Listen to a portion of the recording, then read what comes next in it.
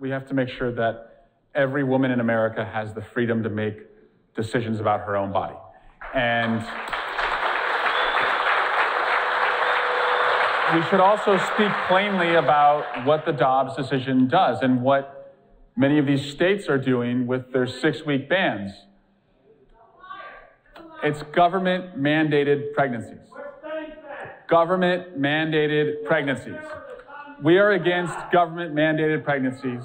Overwhelmingly, Americans want women to be able to do and make these, uh, these decisions for themselves. So I'm for women and their freedom. And I think that's where we're ultimately going to end up.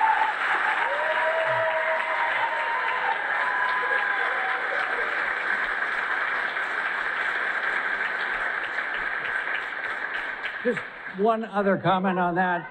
The, uh, our, come on, come on. Let's be respectful. Be Respectful. respectful. Be respectful. On, on, please, folks. Be respectful. Be respectful. Be Deep, respectful. deep, deep breath, everybody, please. I think, Dear- all right, Mark. Mark's up. Let, let my colleague finish, please.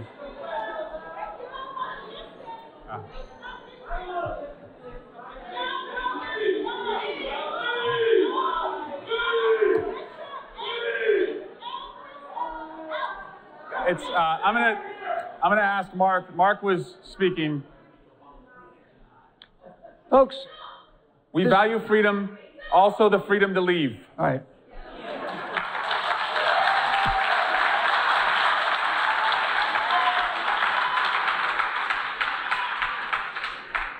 And we can, we can have, we can have passionate disagreements. Neither one of us expects everybody in this room or, the, or this country to agree with us on this issue or others, but we've got to be respectful, folks. So we respect your opinion, we respect ours.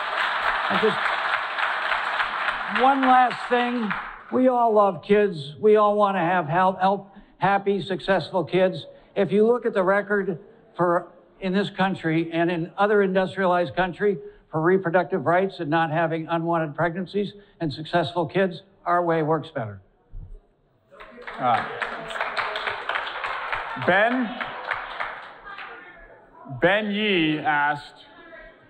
Uh, actually, no. I'm, I'm taking the questions that we've uh, had you write. So Ben Ben Yee asked. I think this is directed to me. Uh, when will you have a similar event in Fremont? And Mallory, I'm going to make you multitask here. We're going to be in Fremont. Is it August 24? Is that 20? So August 26, we have an event in Fremont. We're all. It's going to be especially focused on uh, the Afghan evacuation and Afghan American community issues. We're very proud that Fremont uh, has uh, one of the largest concentration of Afghan Americans. And if you read the book Kite Runner, it tells the story of going from Kabul uh, to Fremont. So we're going to work with the community on the visa issues uh, there. Uh, but that's August 26th.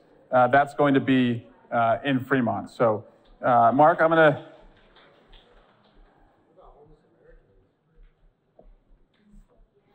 Uh, Leslie wrote, I would like to apologize for dissing you in the Livermore Safeway parking lot. Le- Leslie, you don't have to apologize. That's, I knew what I signed up for. Thank you, thank you for that, Leslie.